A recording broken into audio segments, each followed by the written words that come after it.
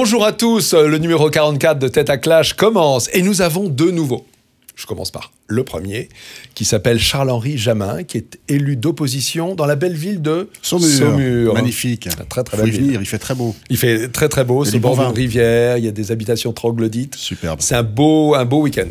Bien, ok prêcher un convaincu en même temps. Valérie Daubigny. Valérie Daubigny est elle aussi élue d'opposition, décidément, mais également c'est une spécialiste de la littérature enfantine, voilà, n'est-ce pas? Une grande passion. Ouais, et co-auteur d'un guide de, de, bouquins une pour bibliothèque les enfants idéale. Mm. Très bien. La troisième invitée. Alors, elle, on la connaît vraiment très bien aussi, comme Valérie. C'est Gabrielle Cluzel et elle est rédactrice en chef de Boulevard Voltaire. Absolument. Ok, très bien. Merci. Le dernier, c'est Louis Lecomte. C'est un petit nouveau, même s'il connaît bien le média radio, m'a-t-il dit, et il est journaliste à L'Incorrect. Alors, L'Incorrect, c'est une revue que nous aimons bien. Euh, voilà. Merci beaucoup. Vous avez des choses à nous dire Oui, euh, abonnez-vous. oui, oui. Ah bah, c'est drôle, votre rédacteur chef dit ça aussi. abonnez-vous. Très bien. Allez, on commence. Sujet numéro 1. Alors, les Gilets jaunes, on en est à la 15e fois, le 15e acte, comme ils disent. On sent quand même que la mobilisation fléchit, un petit peu, ça dépend des fois, mais globalement, elle est en baisse par rapport aux premières fois, mais c'est sans doute assez normal. Moi, ce que j'aimerais voir avec vous, c'est les voies de sortie. Parce que on peut imaginer une un 20e acte, un 25e acte, de se retrouver en novembre 2019 euh, avec un 52e acte. Est-ce que c'est bien raisonnable? Euh, Est-ce que ça doit finir? C'est ça les sujets que j'ai envie d'entendre. Peut-être des propositions. Euh, voilà, vos convictions aussi. Euh, allez, je, commence par vous, vous le, nouveau, Monsieur Jamin. Merci. écoutez, j'allais dire ça tombe bien parce que vous avez évoqué dans ma présentation la, le fait que j'étais à, Saumur. Mhm. Saumur fait partie de cette France périphérique. Euh, et donc, on a vécu ces, ces gilets jaunes dès le départ, qui ont été là, qui ont occupé les ronds-points, qui ont, euh, voilà, qui, euh, qui sont allés dans les villes. Alors, chez nous, on n'a pas eu de violence, on n'a pas eu de, de, de choses caractérisées et très embêtantes. un peu d'empêchement, si je puis dire, sur le plan du commerce, effectivement. Mais enfin, bon, voilà. Euh, et donc j'ai essayé de regarder ça de près, euh, pas à travers les médias, mais sur le terrain. Mhm. Et je pense que la question euh, que vous nous posez, elle, elle, est complexe parce que les gilets jaunes, en fait, sont un concept qui regroupe une multitude de, de, de combats, d'expressions, parfois un peu désordonnées, parfois mhm. d'ailleurs plus ou moins bien formulées. Euh, surtout si ça devient violent. Euh, et donc la, façon de sortir de ça, la façon de sortir de ça, euh, elle dépend, elle dépend finalement pas tellement de ceux qui sont en train d'exprimer parce que c'est, il y a pas, il y a pas de coordination, il y a rien, c'est un mouvement. c'est un peu le problème, il y a pas protéiforme, il n'y a pas de leader. voilà, exactement. Puis dès qu'il y en a un, il lui coupe la tête ou, donc ou une d'ailleurs, il lui coupe la tête. Donc c'est assez complexe. J'ai envie de dire que la responsabilité, elle pèse sur la tête de ceux qui ne, ne font rien ou exacerbent tous ces mouvements. Euh, alors bien sûr, on peut penser au gouvernement et au président actuel. Je pense qu'il a une grande part de responsabilité euh, parce qu'il y a. Euh, c'est pas un peu facile, Monsieur Jamin, de dire que c'est non, c'est pas facile. Non, non, c'est pas. J'ai pas dit que si ça sort, si ça n'aboutit pas, quoi, si ça mûrit pas, ce, ce mouvement. Ça vient de loin. Ça vient pas. C'est pas. C'est pas l'élection d'Emmanuel Macron qui a déclenché ça. Je dirais qu'il a accéléré un processus d'exaspération parce qu'il a une forme, lui et, et la Macronie, ce que je vais appeler la Macronie en général, une forme de mépris dans la façon dont il parle de la France, dans il parle des Français, qui a exacerbé ces, mmh. sentiments de d'incompréhension, de d'écartement. Pour, pour, autant, est-ce que ok, j'entends très bien. Ça c'est le constat, c'est la faute de Macron, de la Macronie, d'un certain nombre de choses, même si on sait que les, les racines sont plus anciennes. Mais est-ce que ça doit finir ou est-ce que finalement, euh, il y aura un 16e, un 17e acte? Ça, c'est quasiment acté. Pardon de la redondance, mais est-ce qu'on va aller jusqu'à un 50e acte? Sans que finalement soit apporté de réponse à. Je, vais donner la parole à, Gabriel, sans soit donné de réponse à un mouvement qui est tellement protéiforme, qui est presque incompréhensible alors en effet, je pense que c'est pas à nous de décider s'il doit s'arrêter, mais quand bien même nous dirions il faut qu'il s'arrête, ça ne changerait pas grand-chose. Je crois que c'est une colère en effet très profonde, donc la mhm. solution sera longue à trouver.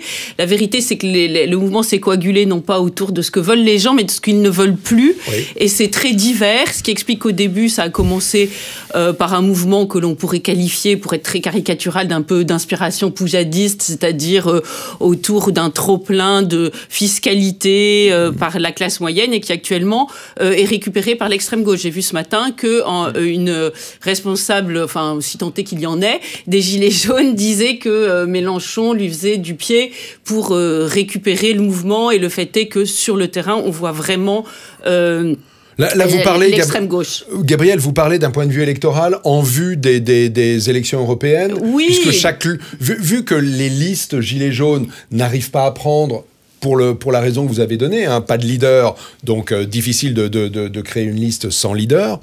Donc finalement, on risque d'avoir des, des, des listes à gauche comme à droite, avec des gilets jaunes. C'est ça dont vous parlez, on est d'accord? Non, ce que je veux dire, c'est pour le moment, ils, ne souhaitent pas et de se faire euh, récupérer par personne.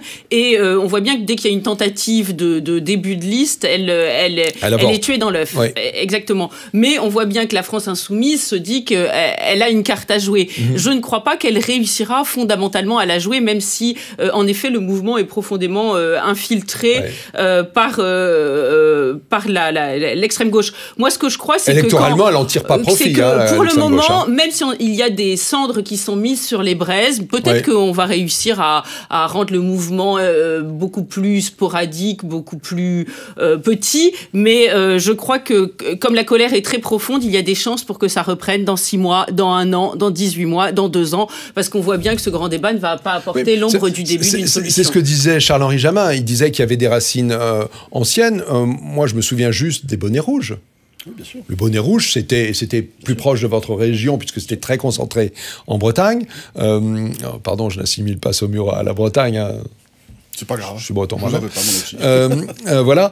Mais, mais globalement, on voit ça. Et puis, et puis je suis certain qu'on peut trouver des mouvements qui, étaient un petit peu avant. Hein. Euh, est-ce que, Valérie, vous, vous, vous pensez qu'il va y avoir une sortie? Vous êtes prête à faire des propositions? Parce que finalement, ma question ne trouve pas de réponse avec vous deux. Hein.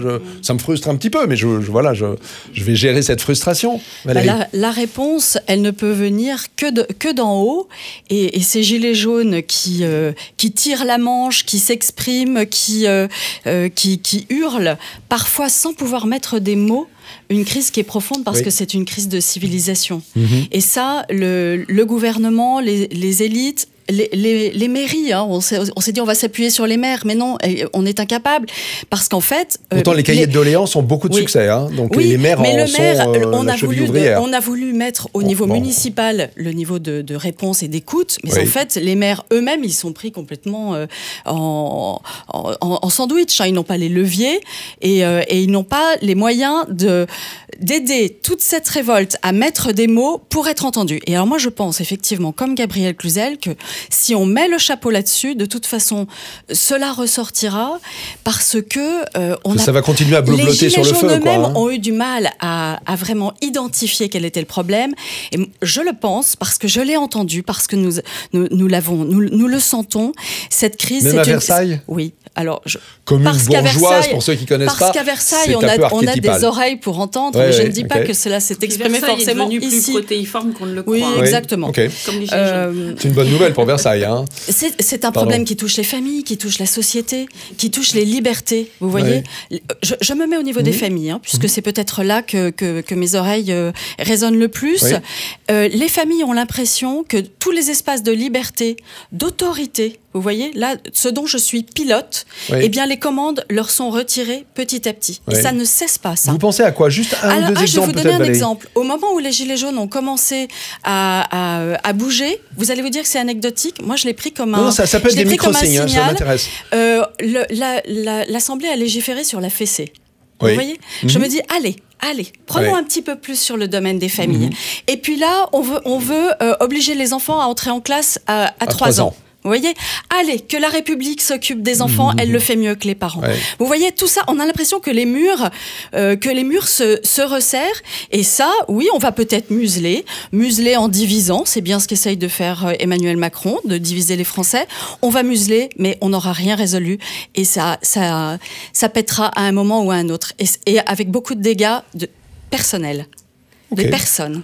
Louis Lecomte, euh, vous êtes journaliste? Oui, par définition. Et voilà, vous allez pas mal sur le terrain. Absolument. Euh, les solutions que j'essaye de trouver hein, pour sortir de la crise des Gilets jaunes, Peut-être que je suis le seul à vouloir en sortir, après tout. Hein. Vous, vous, en voyez Ce que vous voyez sur le terrain vous dit qu'on va vers un dénouement ou que ça va continuer Alors, ce que dit le terrain, déjà, c'est que euh, la crise des gilets jaunes, en soi, est terminée, au sens que vous avez encore des gilets jaunes dans les rues, mais les gens qui sont sous ces gilets jaunes sont absolument plus les mêmes qu'au début. C'est-à-dire que pour les gilets jaunes, euh, cette séquence est une bérésina, c'est-à-dire que c'est une euh, défaite tactique, mais une victoire stratégique. Vous voulez dire entre la séquence numéro 1, novembre, Exactement. Hein, et puis maintenant 15-16 Voilà. C'est-à-dire que les Gilets jaunes, à très court terme, ont perdu parce que le grand débat est une vaste tentative d'enfumage qui fonctionne. Relativement bien, quoi qu'on en dise, parce que même si tout le monde le dénonce comme tel, euh, finalement, euh, c'est ce qui. Euh, Il y a beaucoup de participation. prend le hein, plus, voilà. Objectivement. Donc, en tout cas, ce qui est certain, c'est que les Gilets jaunes n'auront probablement pas de réponse politique probante aux européennes, même si les européennes arrivent à temps pour orienter cette colère vers les urnes, ce qui est plutôt une bonne chose. Mhm. Mais le sort des Gilets jaunes pourrait ressembler à celui des Forconi en Italie, qui est un mouvement qui a eu lieu en 2013, qui ressemblait beaucoup au mouvement des Gilets jaunes. C'est-à-dire que le, Forconi, ça signifie la fourche. Voilà, on a okay. les Gilets jaunes, eux avaient la fourche. C'est des gens qui bloquaient les ronds-points. Ils en ont moins en Italie, euh, grâce, à, grâce à Dieu. Euh, c'est des gens qui bloquaient les routes, les péages, etc. Et qui, au bout d'un certain temps, comme les Italiens sont moins euh, énervés que nous sur les manifestations, ils ont fini par rentrer chez eux à Noël. C'est un mouvement qui n'a pas eu de réponse politique directe, mais c'est un mouvement qui a fait des sortes de secousses telluriques politiques qui ont fini par faire élire Salvini la et Ligue et les 5 qui a favorisé les négociations entre la Ligue du Nord et le mouvement 5 étoiles, qui mhm. étaient des partis qui ne se parlaient pas avant, parce qu'on les assimilait un à l'extrême droite et l'autre à l'extrême gauche. Mhm.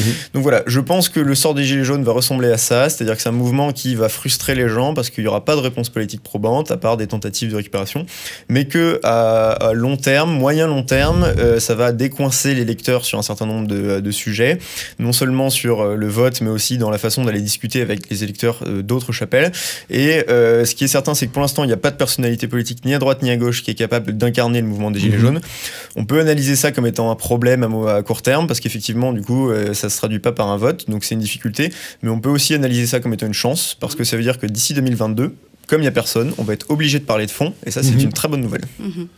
Oh, ok. Euh, là, vous, vous êtes sans doute le premier autour de cette table. J'entends si distinctement le fait que vous voyez une sortie, pas à terme, mais vous voyez une transformation. J'avais pas entendu ça. Pardon si ma, relative surdité. Euh, le, seul, le, seul, souci, c'est qu'à mon avis, c'est un peu une tentation, euh, peut-être euh, parce qu'on a un biais un peu de droite, et puis parce qu'on a toujours l'envie de prendre nos désirs pour des réalités parfois.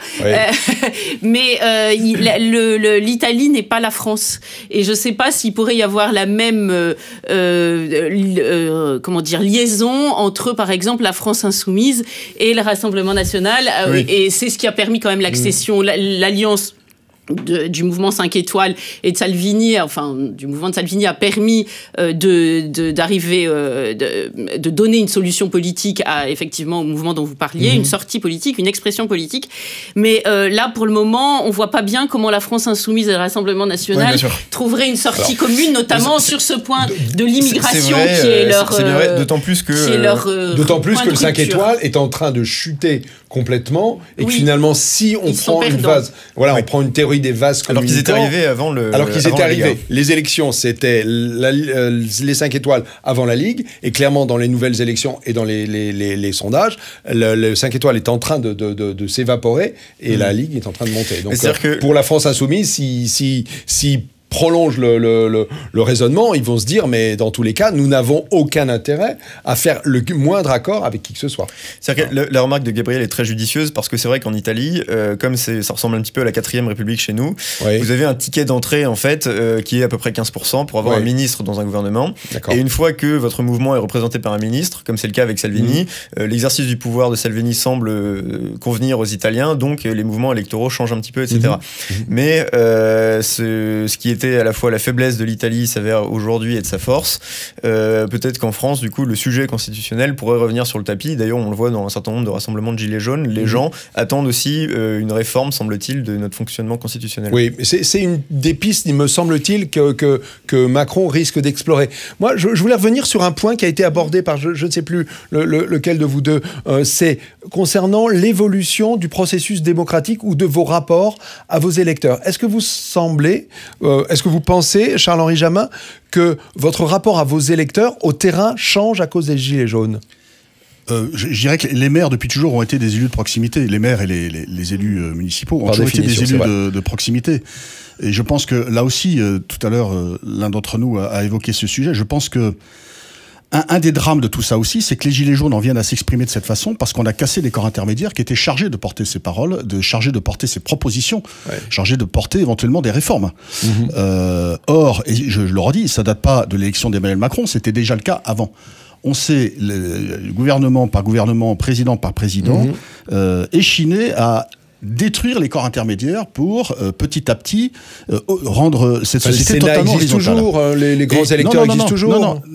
Les grands électeurs Non, non, c'est pas, c'est pas ça le corps intermédiaire. Le corps intermédiaire, ce sont les associations, ce sont les communes, ah, ce sont les familles. Et tout ça a été laminé. Regardez la façon dont la semaine dernière Emmanuel Macron a renvoyé les syndicats, euh, les, les, syndicats euh, chez eux de, de, façon honteuse. La façon dont Là, il vous les parlez a de l'accord sur euh, sur l'UNEDIC et oui, tout exactement. ça, c'est ça Mais la façon dont il parle, si vous voulez, ouais. de ça, il le dit Ouais. la même chose de la part des maires. Vous évoquez, on vous évoquait Ouais. tout à l'heure les cahiers de doléances. Ouais. Monsieur Macron fait appel aux maires lorsque ça brûle de partout, Alors que au dernier congrès des maires, il n'a même pas daigné venir les rencontrer. Ouais. Comment voulez-vous qu'il y ait une logique qui permette aux Français de comprendre ce qui se passe dans ce pays en termes de gouvernement?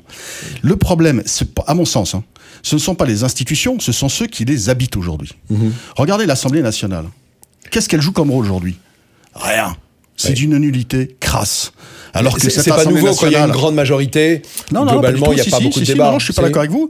Dans les précédentes mandatures, on a eu des assemblées nationales avec lesquelles on pouvait ne pas être d'accord, Ouais. mais qui jouaient, qui jouaient un vrai rôle. Là aujourd'hui, c'est quoi? Enfin, écoutez, euh, excusez-moi, il se passe rien. Euh, on Oui, leur mais propose de mettre en place des- des commissions, il se passe rien. C'est une des clés peut-être euh, l'Assemblée nationale, l'inversion du calendrier électoral, parce que vous en parliez, euh, Louis Lecomte, vous disiez finalement les européennes vont peut-être donner une sortie dans les urnes à cette crise des gilets jaunes. Le fait la fausse bonne idée, c'était quand même d'inverser le calendrier électoral, de, enfin de l'avoir changé, Les d'avoir fait que les présidentielles, Ouais, alors, les législatives collent les présidentielles. Donc on se retrouve avec une majorité godillot, comme C'est on le dit. quinquennat plutôt que Non, mais les- voilà, Gabriel- oui, voilà, Gabriel le quinquennat et, la- et les, et les législatives très proches. Il n'y a Ouais. plus de cette soupape de sécurité Bien sûr.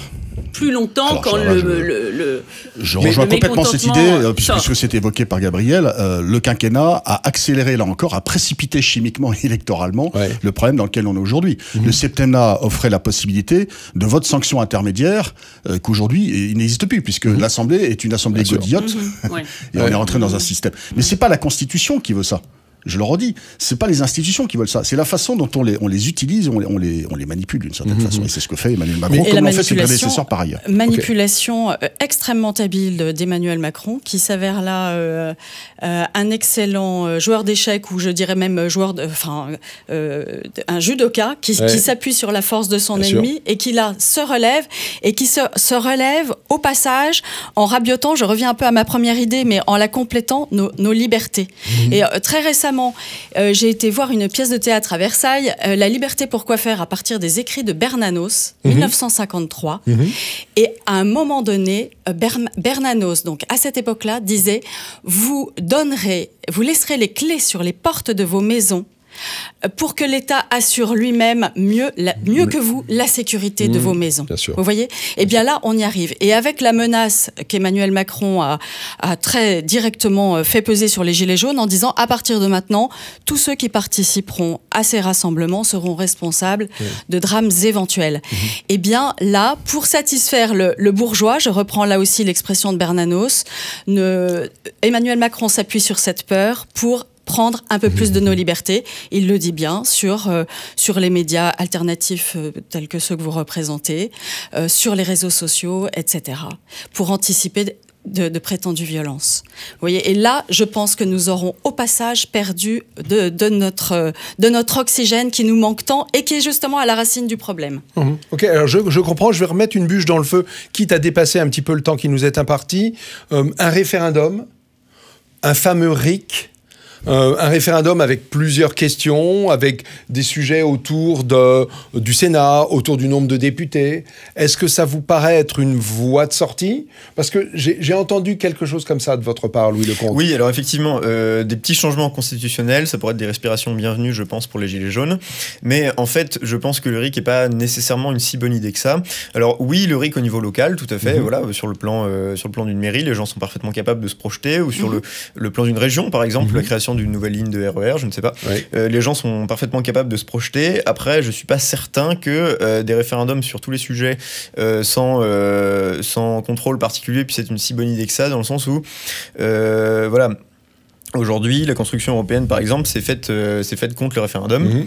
Donc, vous avez une question de confiance autour du, citoyen qui ne se réglera pas par le référendum, mais plutôt par la perception du réel par les politiques. Je vais prendre un, une petite phrase très courte. Euh, une des victoires des Gilets jaunes, c'est que justement, ils réussissent à faire comprendre à la personnalité politique que mhm. leurs décisions, leurs lois, leurs textes ont une, une, conséquence concrète et physique sur la vie des gens, chose qu'ils réalisaient pas. Mhm. Et je suis pas sûr que le référendum euh, arrange cette perception.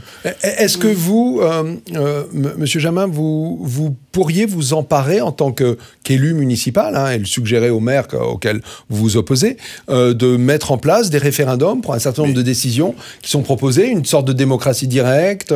Mais, mais euh, Franck, bah, je vais vous dire une chose. J'ai été aux responsabilités, je suis dans l'opposition, mais la précédente mandature, j'étais aux responsabilités, on a fait énormément de choses. Ce, que, ce, que, ce qui n'est jamais dit sur les médias, c'est que nous, les élus locaux, nous n'arrêtons pas de consulter.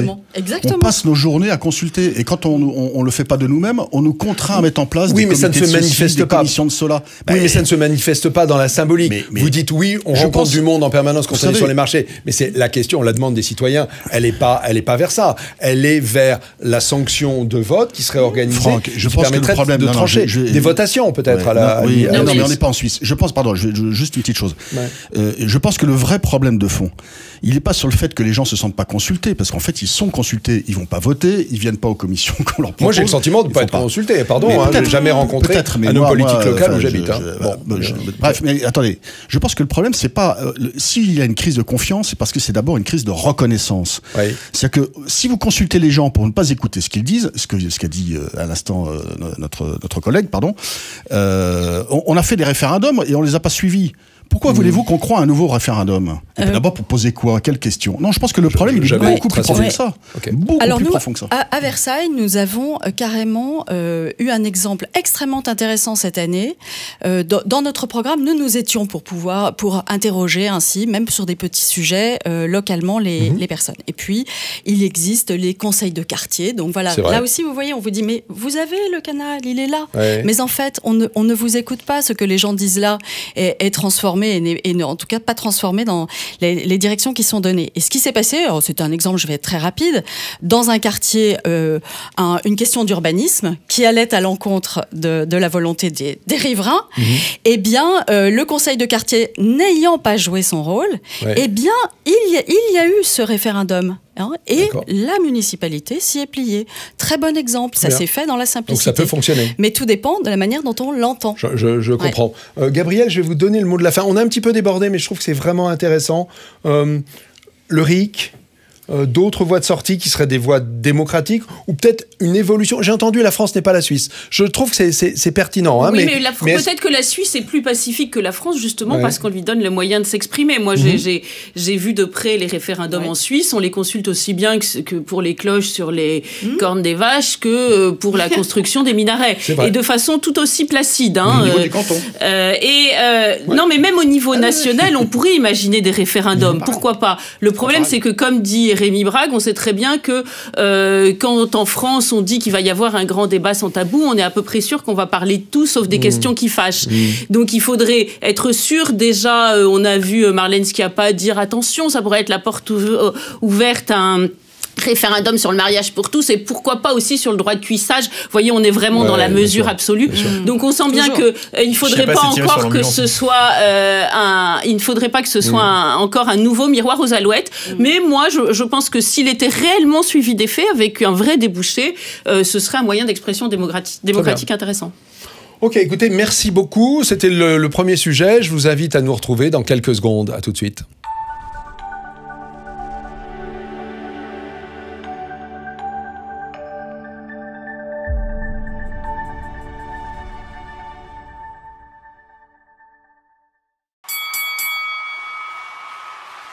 Sujet suivant, sujet numéro 2. Celui de la pédophilie au sein de l'Église.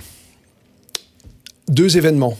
Un événement qui est le sommet organisé par le Vatican, qui s'est terminé officiellement dimanche, qui en réalité va se poursuivre dans les semaines suivantes. Donc événement international, puisqu'il a rassemblé des éminences de, l'Église catholique euh, sur ce sujet précisément. Et puis un événement local qui est la sortie d'un film de François Ozon qui s'appelle Grâce à Dieu, dans lequel le cardinal Barbarin est fortement mis en cause. Bien, je, mets en, résonance ces deux événements, bien entendu, ils n'ont pas du tout la, même importance. Euh, il n'empêche que l'Église pour la première fois ou une des premières fois, reconnaît euh, les, exactions commises contre des enfants. Euh, je voulais savoir ce que vous en pensiez. Euh, est-ce que l'Église prend les bonnes mesures? Parce que les associations de victimes disent être très déçues sur le manque de résultats concrets de ce sommet. Valérie Daubigny. Oui. Euh, alors, est-ce que l'Église prend vraiment la mesure? Alors, l'Église, elle, elle a surtout reçu à la figure tous ces faits. Mhm. Et euh, il ne faut pas se cacher qu'il y, a eu énormément de déni et puis aussi de, manque de moyens. Beaucoup d'évêques qui ne, qui ne savaient pas comment, comment traiter, qui ont cru qu'en déplaçant des prêtres euh, dont, ils, dont, ils avaient, dont, ils, dont ils connaissaient les faiblesses, ils allaient résoudre les problèmes. Méconnaissance de, des addictions. Vous voyez, même méconnaissance, je dirais même psychologique. Mhm. Euh, tout cela, euh, oui, elle est bien obligée d'en prendre la mesure. Et, tant mieux, parce que, euh, parce que en tant que, que parent, que fidèle, on peut pas supporter cette, cette trahison. Mhm. Pourquoi trahison? Parce qu'en fait, lorsque vous confiez votre enfant à, un prêtre, vous, vous confiez beaucoup plus que lorsque vous le mettez à l'école, puisque vous déléguez une partie de, de l'éducation. Mhm. Alors, je Avec une dimension spirituelle qui est très forte. Exactement, et une grande confiance. une grande confiance. Donc, cette tromperie, cette tromperie elle, euh, elle doit nécessairement aboutir à quelque chose. Alors, je pense que du côté des fidèles, il peut y avoir euh, euh, des, des, des, conséquences très positives. Je pense que les fidèles ont pris, ont pris conscience d'abord de la solitude, l'extrême solitude de beaucoup de prêtres qui se retrouvent avec 40 clochers. Euh, voilà, donc on, Ça, c'est le résultat de la crise des vocations. Aujourd'hui, on fait attention de ne pas laisser les prêtres seuls. On les, on les regroupe et c'est une bonne chose. Les fidèles peuvent aussi prendre conscience que c'est pas en, en, débinant systématiquement les prêtres pour des, pour des petits faits. voilà mais, Valérie, est-ce que le mariage des prêtres ne serait pas une solution pour remédier à leur solitude, pour faire qu'ils auraient un foyer à eux et que, d'une certaine manière, euh, certaines tendances, pulsions pourraient trouver une autre voie? Alors là, j'ai envie de presque de donner la parole à Gabrielle Cluzel parce qu'elle avait extrêmement bien répondu ah à cette question. C'est vous qui faites l'émission, allez, prenez ma place et qui m'est resté.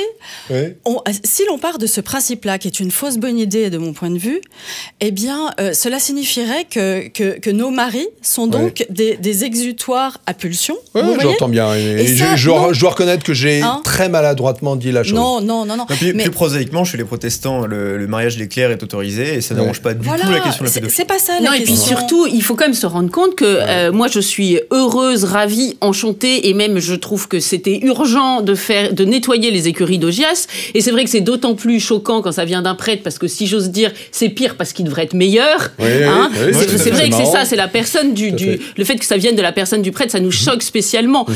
Mais euh, il faut quand même euh, être honnête, la pédophilie ne vient pas que de l'Église. Et on aimerait que la repentance soit la même pour d'autres catégories de, de, personnes qui approchent aussi les enfants. On sait que le premier lieu quand même de, de la pédophilie, c'est la famille. Bon. Et puis ensuite, par exemple, les professeurs. Moi, je vois, il y a un article j'ai relu cet article de 2001 dans Libération qui s'appelle Le tableau noir de la pédophilie dans l'école. Mhm. Et ils disent qu'ils se refilaient les profs pédophiles comme une, une, une patate chaude, le mistigris. Vous voyez, on le planquait. En plus, il dit c'est à une époque de guerre entre l'école publique et l'école privée. Donc, on voulait surtout pas en parler. Mhm. Moi, je me dis, il n'y a pas de raison qu'il y ait que les petits scouts catholiques qui aient droit à la justice. Hein. L'enfant ordinaire d'une école publique, il y a droit aussi. C'est peu ou prou la même période que le père Prénat. Vous voyez, mais cela dit, on n'excuse pas une turpitude par, une, autre, turpitude. Nous sommes bien d'accord. Mais je pense qu'il faut avoir une vision globale du sujet. Bien sûr, mais personne ne, ne, dit que, que, ça n'a pas lieu ailleurs. La question, c'est... Euh, euh si certain, à, voir ah la place que ça prend, on a l'impression... Enfin, je sais pas, euh, euh, dites-moi ce que vous en pensez pour le commun des mortels. parfois, on a l'impression que prêtre et pédophile devient un pléonasme, ce qui est quand même un petit peu gênant. Je, voudrais vous rapporter une, une anecdote. c'est que dans main diocèse, pour le catéchisme, les mamans demandent si le prêtre fait le catéchisme et si c'est le prêtre, elles n'envoient pas leurs enfants. Et si elles apprennent que c'est une autre maman, que c'est euh, quelqu'un qui est proche de, de l'Église, à ce moment-là, elles se sentent en confiance. On en est à ce stade de défiance euh, entre les familles et, l'Église. Bah, il, y a deux responsabilités, c'est-à-dire que effectivement, euh, l'Église porte sa part de responsabilité dans la gestion qu'elle a eue de, ces dossiers épineux, mhm. d'une part, mais il y a aussi effectivement une responsabilité des médias qui sont quand même bien contents de pouvoir mettre des taquets à l'Église, et en particulier au cardinal Barbarin, euh, qui dans l'histoire a, cru bien faire et n'est pas particulièrement reconnu coupable pour l'instant par la justice. C'est en cours. C'est en, cours. Enfin, en tout cas, il y a une asymétrie dans le traitement entre l'Église et, et le reste de la société qui est flagrante. Il y a plus de pédophiles dans l'éducation nationale laïque et républicaine que dans l'Église catholique romaine. Donc, ce qui est certain, c'est que qu'est-ce que vous pensez des, je, voudrais juste terminer ce que je disais. Euh, effectivement, le, cette perception par les mamans euh, qui envoient leurs enfants au catéchisme, euh, cette perception de défiance est responsable, est due à la responsabilité de l'Église, mais aussi au traitement des médias qui ne parlent que de la pédophilie dans l'Église. Et ça, effectivement, c'est un vrai sujet. Mais les, les, les, associations donc qui, qui sortent de ce sommet hein, où il y avait 180 euh, euh, chefs de congrégation, euh, des locaux de, haut niveau qui sont tous rassemblés à, Rome, ils trouvent que finalement les mesures sont très très faiblardes. Alors, vous, avez, vous les avez étudiées, est-ce que vous pensez pas que c'est indigent Je, ou... je pense qu'il y, a deux niveaux de mesures, c'est-à-dire qu'il y a d'une part, on gère l'urgence, c'est-à-dire les dossiers qui sont en cours, les victimes, comment on aide ces personnes-là, comment on dialogue avec elles, comment on fait pour les reconstruire, et mhm. deuxièmement, il y a les mesures que vous faites pour que ça ne se reproduise plus. C'est ça. Et donc il y a deux niveaux, il y a on part à l'urgent et on prépare l'avenir. Alors pour les victimes, euh, malheureusement, euh, en plus, euh, voilà, il y a beaucoup de, fakes, de, de faits qui sont prescrits, etc. Donc ça va être le moins pire. On va essayer de leur donner le moins pire mhm. et le meilleur pour les enfants qui viennent. Moi, quand j'étais au collège, donc euh, ça, je, suis de loin le plus, le moins euh, mûr d'entre vous. Mais, euh, mais ça, alors là, je, pense que, c'est le prix du politiquement correct. je vais vous l'accrocher cette jolie médaille. Merci, Louis. voilà. Donc les, quand les, plus mûrs vous parlent. le moins mûr nous écoute. Quand j'étais ah, au collège, systématiquement, quand on avait des confessions, donc la confession c'est la chose la plus intime possible de mhm. votre foi, on le faisait systématiquement systématiquement dans une salle qui était euh, entourée de vitres pour que, euh, pour que chacun puisse se rendre compte de ce qui s'y passe. Donc ça, c'est une mesure très simple qui est enseignée maintenant dans les, dans les séminaires. Donc voilà, pour les victimes, je suis désolé, ça va être le moins pire. L'Église va essayer de faire son maximum, mais ça sera jamais satisfaisant, c'est mhm. certain. Quand on a mhm. vécu ce genre de fait, on ne peut jamais vraiment euh, avoir justice. Et donc voilà, cette génération est un peu sacrifiée, mais pour la suivante, l'Église prend en tout cas, à mon sens, le, bon sens et le bon chemin pour arranger ce qui vient. je, je, vais céder là, merci. Merci Louis, je vais, je vais vous céder la parole, euh, Charles-Henri Jamin. Vous, oui, je, vais revenir à votre question initiale. Euh, L'Église est la première grande institution au niveau international à faire le travail qu'elle a enclenché sur mhm. la question de la pédophilie. Euh, alors je voudrais bien évidemment. Le, le dommage, c'est que ce soit pas spontané, c'est que ce soit obligé. Non. Oui, bah, d'accord. Benoît XVI a ouvert le dossier avec un grand courage, euh, sans, sans qu'il y ait une actualité qui l'y pousse. Benoît XVI a choisi lui-même de mettre les pieds dans le plat. L'actualité est très ancienne sur les, les faits de pédophilie. J'entends bien qu'elle soit obligée, mais les autres aussi, ils le font pas. Donc euh, votre argument ne tient pas. Je redis, l'Église est la première institution au niveau international à se mhm. saisir de cette question. Mhm à, à, dire qu'il y a un problème, à l'évoquer euh, de façon euh, générale, institutionnelle, globale. Et euh, voilà. Alors sur, sur, ce que vous évoquiez, effectivement, quand on est dans l'ordre de l'excuse, pour celui vers lequel on exprime l'excuse, ce n'est jamais suffisant. c'est ça se comprend. Enfin, c'est mhm. terrible. On parle de, de crimes épouvantables, donc il faut quand même réaliser ça. Mais, mais, par ailleurs, il se trouve qu'on parle de l'Église, et donc il y a un autre niveau, qui est un niveau un petit peu plus spirituel, qui s'appelle le pardon. Et moi, je considère que euh, le, pape a demandé pardon, le cardinal Barbarin a demandé pardon, je crois que c'est la semaine dernière. Mhm. euh, et, dans, dans, la, dans, la, bouche d'un prélat, d'un pape, c'est pas rien. Mhm. Mais évidemment, dans un monde sécularisé, c'est sans doute pas euh, suffisant. Mais ce que je veux dire, c'est qu'il y, y, a deux niveaux de, de, de, lecture qui rendent complexe cette affaire dans, dans ce que vous disiez à l'instant. C'est qu'il y, a deux niveaux, il y a une espèce d'antagonisme sur ce que l'Église peut avoir à dire sur le sujet, la façon dont on l'exprime, les médias s'accaparent ces mhm. questions-là. Et ça, je pense que c'est absolument terrible. Je pense que euh, derrière tout ça, il y a autre chose, la façon dont c'est instrumentalisé, c'est que euh, ce qui est attaqué, c'est pas la, hiérarchie, c'est la doctrine. Et votre question de tout à l'heure sur le mariage, les mariages des prêtres, est typique de la conséquence de toutes ces affaires. C'est exactement ça. Et c'est ça que euh, les, les, les, médias ou les détracteurs cherchent à faire en instrumentalisant cette affaire de, de pédophilie dans l'Église, qui est un fait réel, épouvantable, sur lequel il faut combattre. Et l'Église a décidé d'enclencher les choses. Mhm. Mais c'est la doctrine qui est attaquée. C'est le célibat des prêtres, c'est l'autorité du pape, c'est le soupçon qui est jeté sur chaque prêtre que vous rencontrez dans la rue. Mhm. C'est ce que vous évoquiez à l'instant dans, dans, le témoignage que vous avez. Dès qu'un prêtre essaie de s'exprimer sur Twitter actuellement, quel que soit le sujet, il y a quelqu'un pour venir lui dire va donc t'occuper des pédophiles et pédophiles et donc c'est quand même euh, ça confisque la parole de l'Église. C'est devenu le, le, point Godwin exactement.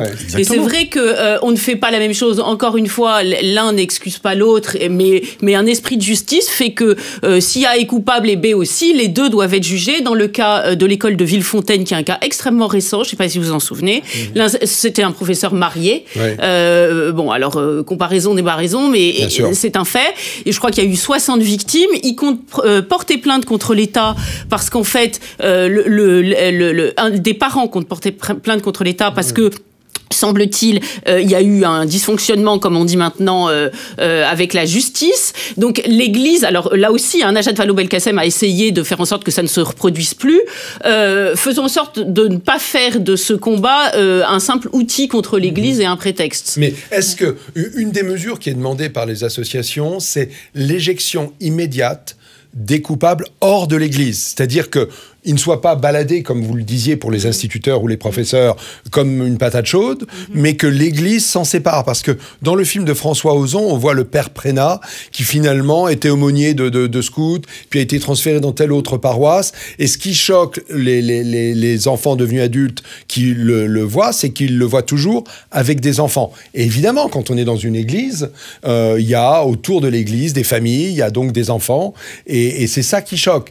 Et, et, et finalement, c'est le fait que ce prêtre, ce prêtre, le père Prénat, soit toujours dans l'église.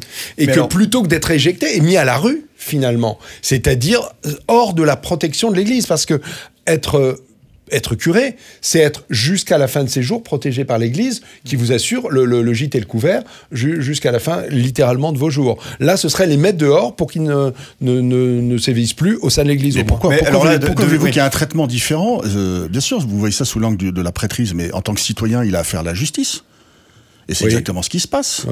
Pourquoi faudrait-il qu'on rajoute un couvercle supplémentaire au prétexte que c'est un prêtre? D'accord. Je, je, d'abord un coupable, euh, même quand il est coupable, il, est dans l'Église. Enfin, qu'est-ce que c'est que cette façon de voir les choses C'est une proposition des, c'est une proposition des associations. oui, mais parce que parce que parce que justement, elle n'aborde pas, euh, elle voit pas l'Église comme autre chose que ce que fait d'ailleurs. Je vais revenir, je vais l'attaquer un petit peu, Monsieur Macron. C'est-à-dire un gentil club de, de, de, de, personnes qui font du bien autour d'eux. D'accord. C'est plus compliqué que ça.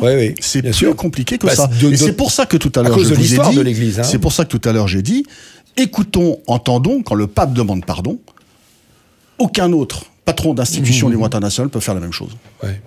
Et donc c'est très profond. Et il appelle d'ailleurs, ce qui est remarquable en termes de porte de sortie, à la purification il nous demande tous, il nous renvoie tous à cette phrase de Mère Teresa qui nous dit qu'est-ce qu'il faut changer dans l'Église? Vous et moi. Réponse de Mère Teresa. Ça renvoie aussi à notre responsabilité de parents parce que quand on regarde aussi euh, la jeunesse de ces affaires, il y a beaucoup de parents qui euh, ont hésité à le dire, qui ont dit à leurs enfants, euh, qui ont minimisé. Donc on pourrait dire que nous aussi, en tant que parents, nous avons des vraies questions à nous poser sur ces sujets-là. Et puis alors, logistiquement, puisqu'on parlait de la punition qu'on inflige à ces gens-là, l'Église a des moyens alors il y a la justice euh, des hommes, mais il y a aussi la justice, euh, le droit canon.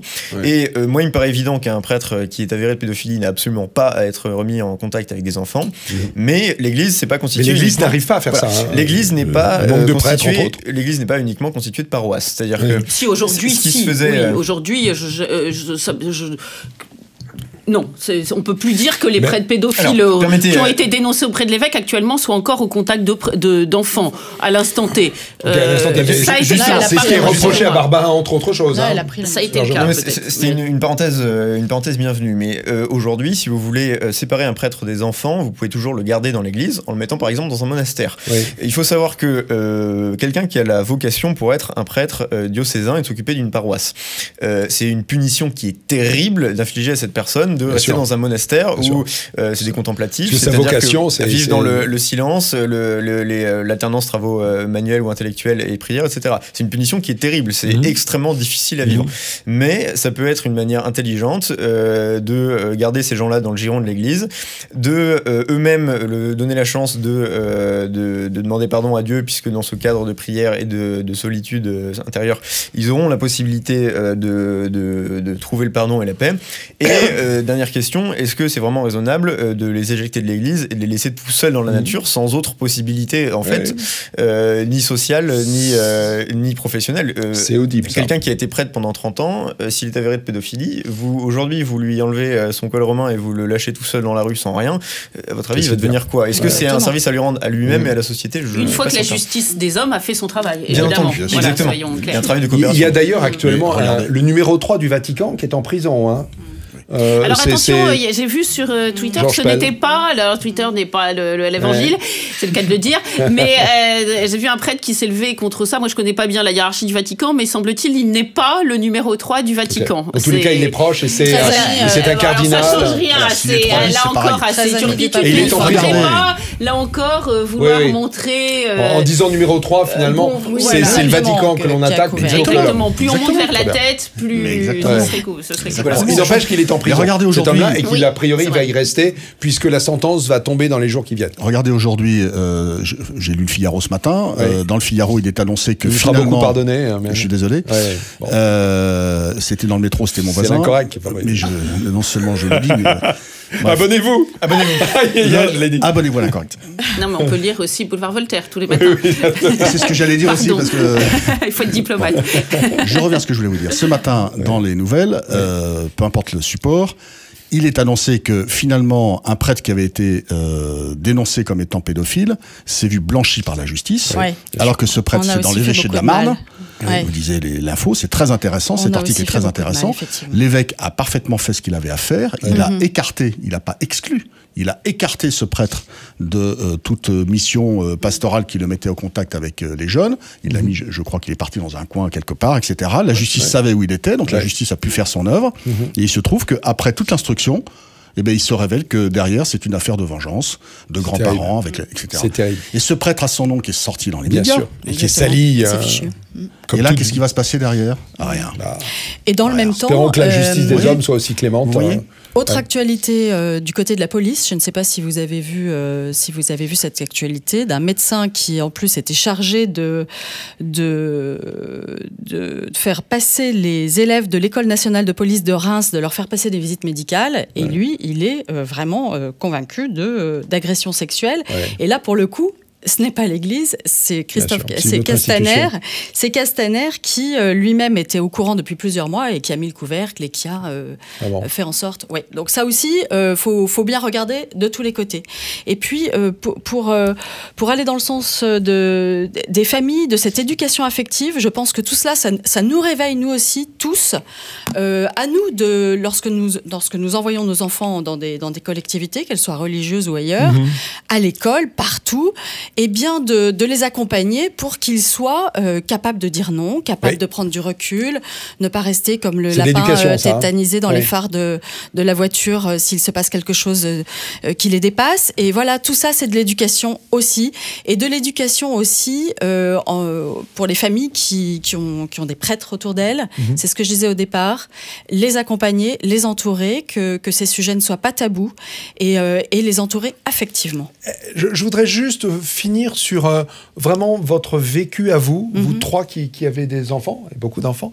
Euh, est-ce que ces histoires ont changé votre regard sur euh, le rapport entre mhm. l'institution et vos enfants Ce que je citais sur ces mamans inquiètes de, de, du catéchisme? Je vais juste dire une petite chose avant de céder la parole.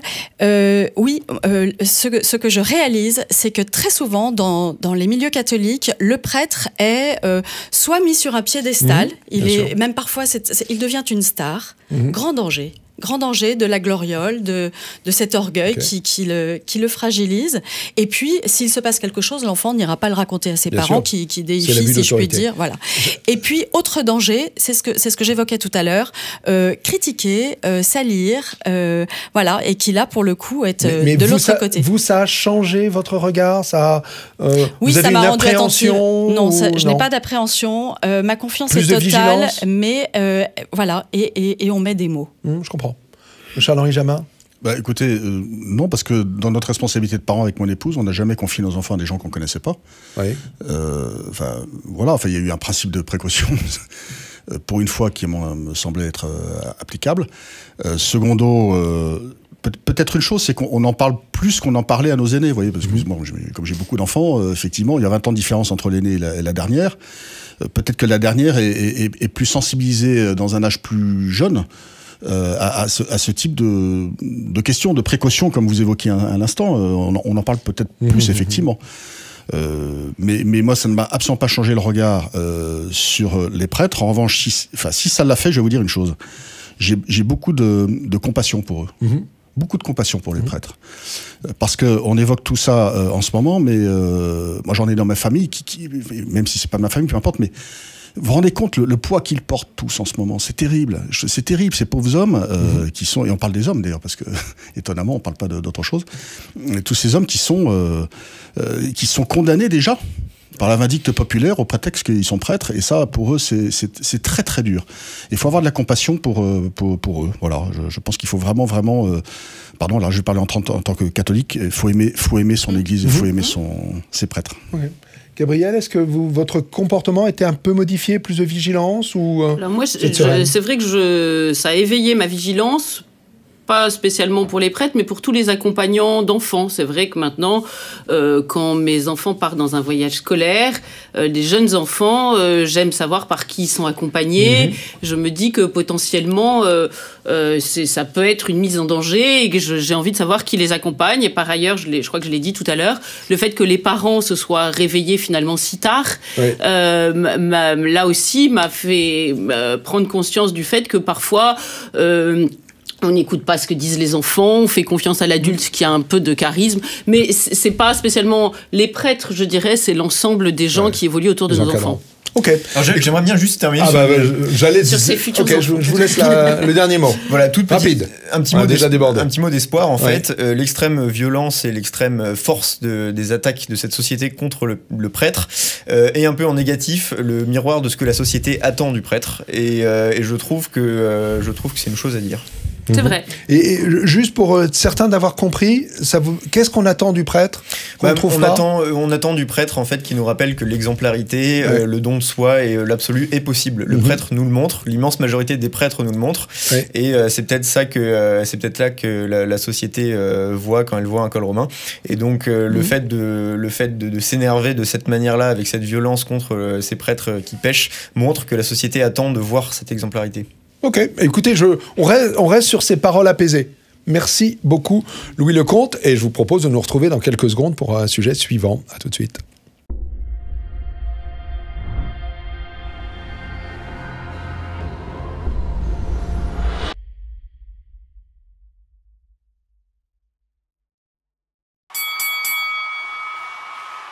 Sujet suivant. Alors, c'est la foire d'empoigne au gouvernement. C'est le grand concours l'épine des nouveaux impôts. Euh, je voulais mettre ce sujet sur la table parce que Jacqueline Gouraud, euh, qui est ministre déléguée je le savais, j'ai oublié, mais bon. De la cohésion du territoire. voilà, exactement. A fait une proposition ce week-end qui était de dire de rendre l'impôt sur le revenu universel. Or, vous savez que moins de 40, moins de 50% de, des foyers fiscaux payent l'impôt.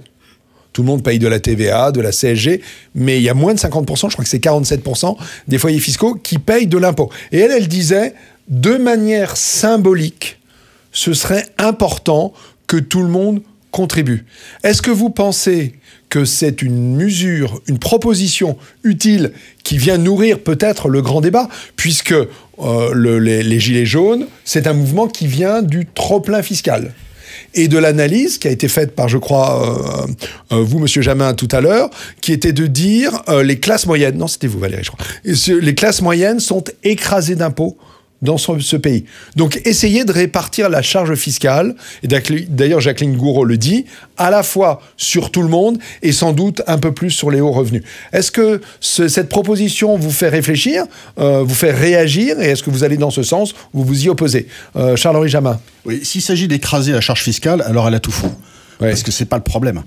Euh, le, problème qui est derrière, elle, pose un vrai sujet, Madame Gouraud. Mais c'est pas la première, hein, mhm. c'est récurrent ce, type de question. Et elle se nourrit du, des, débats auxquels elle assiste. Très bien, euh, c'est parfait, comme quoi ça sert un petit peu. Alors, euh, non, non, le, moi j'y suis favorable à cette idée, mais pas du tout pour cette raison-là. J'y suis favorable pour une raison d'appartenance. Mhm. Qu'on ait le sentiment, et pas simplement le sentiment, qu'on pose des actes qui fassent qu'on appartienne tous au même pays, à la même nation, mhm. et donc on contribue à la mesure de ce qu'on est capable de contribuer, c'est-à-dire même si c'est qu'un euro, bah c'est qu'un euro, qu'est-ce que je vous dise? Mais c'est donc vous êtes, vous êtes Jacqueline mais pas, à fond. Euh, non, d'abord, je n'ai pas cette prétention d'être ministre délégué à la Commission d'en avoir la possibilité. Non, c'est pas ça. Je, je, pense que derrière ce, cette question, il faut pas la, il faut pas la, comment dirais-je, la caricaturer. Il y a, il y a, il y a, il y a des, il y a derrière, il y a des intentions qui peuvent être bonnes, intéressantes. Ce que je trouve dramatique, c'est qu'elle pose cette question aujourd'hui, mhm. alors que justement, on est déjà euh, totalement, enfin en tout cas une bonne part des Français et des classes moyennes que vous évoquiez, écrasés par par, par l'impôt. Bah, on est champion du monde du Hein, de, dire ça aujourd'hui, c'est encore un petit peu plus le coup de truc qu'on nous met sur la tête. Il faut pas plus de 25% entre 2010 et 2017. Voilà, donc, une, taxe ou un nouvel impôt par an. Le problème, c'est qu'il y a, y a un, énorme problème sur la répartition des richesses. Il y a un énorme problème sur la fiscalité de ce pays dont personne ne veut s'emparer pour faire une vraie réforme mm. Qui soit euh, beaucoup plus équitable. Mais si on partait sur une forme beaucoup plus globale, mm. alors à ce moment-là, effectivement, la question de l'impôt payé par tous euh, mériterait d'être posée de façon dépassionnée, mais, mais, dans un cadre beaucoup plus global. D'autant c'est comme ça, d'autant ça dramatique. D'autant qu'on pourrait considérer que le prélèvement à la source serait une manière aisée de le mettre en place. Euh, euh, Louis Louis Lecomte Alors, ce qu'on peut observer dans les Gilets jaunes, c'est que vous avez une part d'entre eux qui est plutôt à gauche, donc qui réclame plus de services publics et donc qui n'a pas de problème avec la création d'impôts à condition qu'on les mette chez les riches. Et vous avez des gens plutôt à droite, ce sont eux qui ont lancé le mouvement, enfin à droite, entendons-nous, hein, euh, c'est conceptuel, qui euh, réclament moins d'impôts tout court et plus de liberté pour la gestion de, euh, de leur vie, quitte à euh, faire un petit peu plus d'attention sur les services publics. Le point de convergence entre ces différents gilets jaunes, c'est l'égalité. C'est une mesure de justice sociale et c'est mhm. effectivement le fait que la façon qu'ont les gens de, de, de coopérer à l'effort public soit plus, plus mieux répartie en tout cas. Donc sur principe, oui pour que chacun paye un impôt. simplement, là, c'est absolument pas l'opération qui est prévue par la ministre en question, qui tout simplement va créer un impôt supplémentaire et euh, étendre l'assiette des gens qui vont payer. Alors, l'égalité, oui. Euh, si c'est dire euh, tout le monde va payer, enfin, on va augmenter les impôts de ceux qui payent moins pour que tout le monde soit au même niveau, c'est évidemment ni le moment, ni de toute façon, ni la séquence, ni le moment de le faire. Donc non, la création de, de ce nouvel impôt. Euh, je pense qu'effectivement, on peut faire, euh, on peut réorganiser notre système d'impôt. Aujourd'hui, je sais plus combien il y a d'impôts différents. Il y en a environ 200, je crois. Il y a 360 ou 390 niches fiscales. Là, je parle complètement de mémoire, ce qui est un maquis incroyable. En tout cas, que, que ce soit 200 ou 300, c'est exactement la même chose. C'est-à-dire que vous avez une, un nombre d'impôts qui est aberrant, mhm. qui permet à certains de ne pas en payer, euh, qui permet, à, qui permet, à, voilà, qui permet aux entreprises de se planquer dans certains cas. En tout cas, ça crée un sentiment qu'il y a des privilégiés et d'autres non. Euh, mm. Dès que vous avez ce sentiment-là qui apparaît, euh, vous avez tout de suite, euh, tout de suite des comportements sociaux qui sont beaucoup plus violents parce que il y a de l'envie, il y a de la suspicion, etc. Donc, je pense que qu'on soit de gauche qu'on veuille moins plus d'impôts aux plus riches, qu'on soit de droite, qu'on en veuille moins, ce qui est important, c'est que l'impôt soit clarifié, pitié, essayer de faire un système d'impôt qui soit plus clair et qui soit lisible. C'est juste un, un, truc précis. Moi, avant cette émission, j'ai évidemment travaillé mon sujet. Je suis allé sur le site impôt gouv.fr, j'ai essayé de comprendre. J'espère bien. Et abonnez-vous. j'ai essayé de comprendre le, fonctionnement de l'impôt sur le revenu. C'est à se tirer une balle. Je ne sais pas combien de, milliers de gigas doit peser ce site, mais c'est invraisemblablement compliqué. Alors plus d'impôts, moins d'impôts. Euh, Alors clarifier, c'est ça l'objectif. Certains proposent, en fait, pour, pour mémoire, il y a cinq tranches. C'est la 0, c'est la 14, c'est la 30, à 41 et à 45. Et certains proposent d'avoir plus de tranches, c'est-à-dire à la fois plus de tranches vers le bas pour que les premiers euros soient fiscalisés mhm. et, simultanément d'ailleurs souvent ils proposent des tranches beaucoup plus élevées au-delà de 50%. Euh, voilà. Ce qui fait hurler les plus libéraux qui là parlent carrément de, raquettes et de spoliation. ils n'ont hein pas tort. Hein. Euh, Ok, Gabriel Cluzel. Alors, moi, ce qui me frappe, c'est qu'il y a quand même une petite entourloupe intellectuelle dans cette proposition, puisque on part de l'idée juste que l'impôt sur le revenu est payé par, euh, euh, de façon euh, majoritaire par une toute petite minorité de gens, mais au mhm. lieu de se dire, bon, ben, on va, ces gens-là paieront moins, non, c'est les gens qui ne payaient pas jusque-là qui paieront plus. Donc, à la fin, on arrive à plus d'impôts. On dénoce l'impôt pour plus d'impôts. Donc, on voit, on voit l'entourloupe. Par ailleurs, un impôt qui est payé par tous, il y en a un, c'est la TVA, puisque sur la consommation, il est payé par tous. Euh, exactement. Euh, mais euh, le, le, le, vrai souci, on parlait des Gilets jaunes, c'est que pour beaucoup, certes, ils dénoncent le trop d'impôts, mais aussi ils dénoncent le, je parlais très mal, le mal impôt. Le, Ce qu'ils veulent, c'est de, c'est un meilleur, c'est peut-être payer autant, mais pour un service public meilleur, parce que le vrai, le vrai sujet, c'est aussi celui-là. En effet, il y a une pression fiscale euh, injuste, mais euh, également il y a une gabegie qui apparaît à tous les étages, mhm. et celle-là, euh, apparemment, personne n'a envie d'y toucher. On, on, peut en citer. C'est difficile à toucher. Hein. Alors, Les oui, réformes se heurtent Moi, je vous renvoie au livre que je viens de terminer de Christophe Guilluy, qui est très intéressant, et il dit il y a un outil actuellement qui paralyse le débat, c'est de dire c'est plus compliqué que ça voyez Pour tout, c'est plus compliqué que ça. Donc, Autrement euh, dit, d'ailleurs, ce qui nous enlève à nous, citoyens, la parole, puisque sous-entendu, et ça c'est vraiment... On est trop bête pour on comprendre. On est trop bête pour comprendre, et, ce sont les sachants d'en haut qui savent faire. C'est très intéressant parce qu'il a, il a, il a publié hein. ce bouquin avant les Gilets jaunes, et c'est un peu l'expression qui recouvre tout le débat des Gilets jaunes. C'est plus compliqué que ça. Moi, je crois que c'est plus simple que ça, précisément. On peut remettre à plat la fiscalité et euh, vérifier que ces impôts soient euh, mis au service du citoyen. D'accord. Valérie, vous, vous seriez, pro, vous seriez euh, favorable à être plus taxé? vous seriez favorable La bonne question du jour. Ah, là, c'est une provocation. Sais bien, j'ai trouvé, j'ai trouvé ce sujet intéressant, euh, effectivement. Vous aviez lu l'article de Jacqueline Gouraud, l'interview, hein, Mais dans, le cadre d'une remise à plat totale, effectivement. Parce que aujourd'hui, on nous dit, en dessous, en dessous de 61 euros, le recouvrement de la peau est plus coûteux. Plus, bien sûr.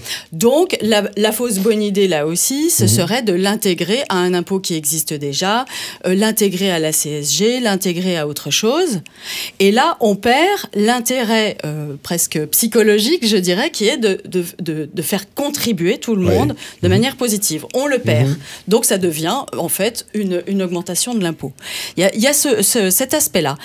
Du coup, moi j'ai une autre idée. Lorsque euh, les, les, personnes se rendent à l'hôpital, aux urgences, hein, et ne payent strictement rien, mhm. parce que leur enfant tousse, parce que euh, je ne sais quoi, eh bien là, oui, faisons, faisons contribuer un petit peu, vous voyez, que les choses ne soient plus Lui dire d'un ou deux euros. Oui. Symboliquement. Hein. Exactement. D'abord parce que ce qui, est, ce qui est entièrement gratuit a, a, moins de valeur aux yeux des personnes. Oui, mais hein. c'est un peu le concours l'épine de, la fiscalité qui continue pas avec vous, Valérie, Là, ça devient très concret. Vous êtes en train d'inventer une nouvelle taxe. Parce qu'il faut que chacun contribue. Bienvenue au gouvernement. Et puis alors, l'autre aspect qui est sans doute plus grave et plus... Il me fera pas. Euh, je ne voudrais pas dévier de votre chemin, j'ai bien compris, ok.